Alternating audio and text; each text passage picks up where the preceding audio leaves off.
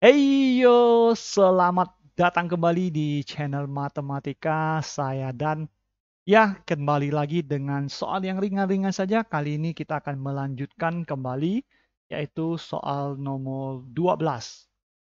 Sebuah tangki kosong akan diisi air sampai penuh.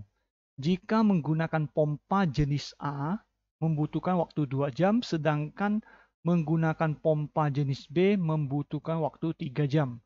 Jika kedua pompa dinyalakan bersama-sama, maka waktu yang dibutuhkan agar tangki tersebut penuh adalah titik-titik. Ya, oke okay ya. Jadi kondisinya ada ada sebuah tangki kosong, kita ingin isi air dengan penuh. Ya, kalau pakai pompa A dia bisa penuh dalam waktu 2 jam, sedangkan pompa B itu bisa penuh dalam waktu 3 jam. Nah, kalau kita nyalakan sama-sama, berapa lama waktu yang diperlukan? Tentunya pasti lebih cepat ya ya pasti akan di bawah 2 jam. Oke, kita akan pilih ini semua jawabannya di bawah 2 jam ya. Oke. Kita cek kecepatan masing-masing uh, pompa ya. Jadi kecepatan pompa A ya. V, saya tulis V untuk mewakili velocity kecepatan ya. Jadi V pompa A. V pompa A itu adalah uh, 1 per 2 jam ya. Jadi kecepatannya itu satu tangki dalam waktu 2 jam. Berarti 1 per 2. Berarti satu tangki penuh dalam waktu 2 jam. Itu maksudnya ya. Sedangkan untuk V pompa B itu sama saja 1 per 3 ya.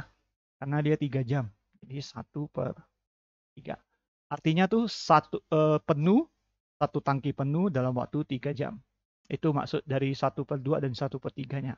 Nah, kalau dinyalakan bersama-sama berarti kedua pompa ini kita tambahkan saja ya. Di kecepatannya kita tambahkan. Kita tambahkan berarti V pompa A ditambah V pompa B. Ya, ini ruas kirinya, ruas kanannya adalah 1 per 2 ditambah 1 per 3. Nah, kita tinggal sederhanakan, samakan penyebut. 2 kali 3, 6. Berarti 6, ini adalah 2 tambah 3 ya. 3 tambah 2. Ya, kita dapat 5 per 6.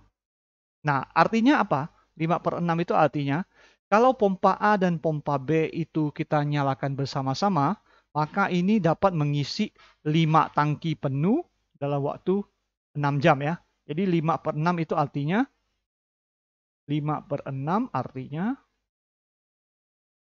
5 tangki penuh 5 tangki penuh dalam waktu uh, eh, 6 jam. Dalam waktu 6 jam. Nah itu maksudnya. Nah yang diinginkan kita kan cuma satu tangki. Kalau 5 tangki penuh dalam waktu 1 jam, satu tangkinya ya tinggal dibalik aja. Jadi satu tangki penuh itu sama dengan 6 per 5. Ya. Jadi sama dengan eh, 1,2 ya. 1,2 jam. Sama dengan 1 jam. Nah ini 0,2 jam kalau jadikan menit berarti 0,2 dikali 60 ya. 0,2 dikali 60 berarti 12. Ini ini langsung jadikan menit juga boleh ya kali 60 berarti 72. Berarti 1 jam 12 menit.